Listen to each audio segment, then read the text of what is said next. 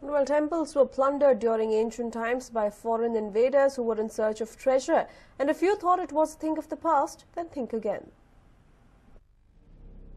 Incidents of treasure hunts have been witnessed in the Talavadi village of Mandya district. The ancient Ranganatha temple in this village has been in a dilapidated condition for a long time.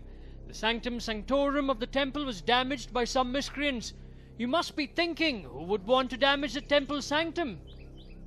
Well, it was treasure hunters who targeted the Ranganatha temple this time.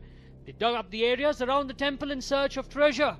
Since this temple is situated in the middle of the forest, it was an easy target for the miscreants. However, it is uncertain if treasure hunters found any riches. ಹಿಂದಿನ ಕಾಲದಿಂದ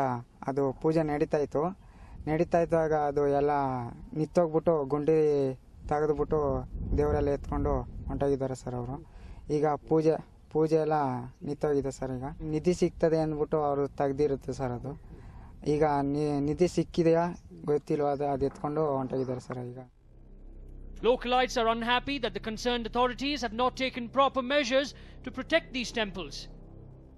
Talwadi Anjaneya ದೇವಸ್ಥಾನ ತುಂಬ ಪ್ರಸಿದ್ಧವಾದ್ದು ತುಂಬ ಎಲ್ಲ ಥರಕ್ಕೂ ಅನುಕೂಲ ಇದೆ ಭಕ್ತಾದಿಗಳಿಗೆ ಆದರೆ ಅಲ್ಲಿ ಯಾವುದೇ ಥರ ಅಭಿವೃದ್ಧಿ ಕೆಲಸ ಆಗಿಲ್ಲ ಹಿಂದೆ ಒಂದು ಶ್ರೀರಂಗಸ್ವಾಮಿ ದೇವಸ್ಥಾನ ಒಂದಿತ್ತು ಆ ದೇವಸ್ಥಾನದಲ್ಲಿ ಇದ್ದ ವಿಗ್ರಹನ ಯಾರೋ ಕಳ್ತನ ಮಾಡ್ಕೊಂಡು ತಗೊಂಡು ಹೊರಟೋಗಿದ್ದಾರೆ Many ancient temples are located in the same locality. However, there are chances that these temples might be attacked as well. Is there a way to stop these attacks? Ravi Lalipalya, News 9, Mandya.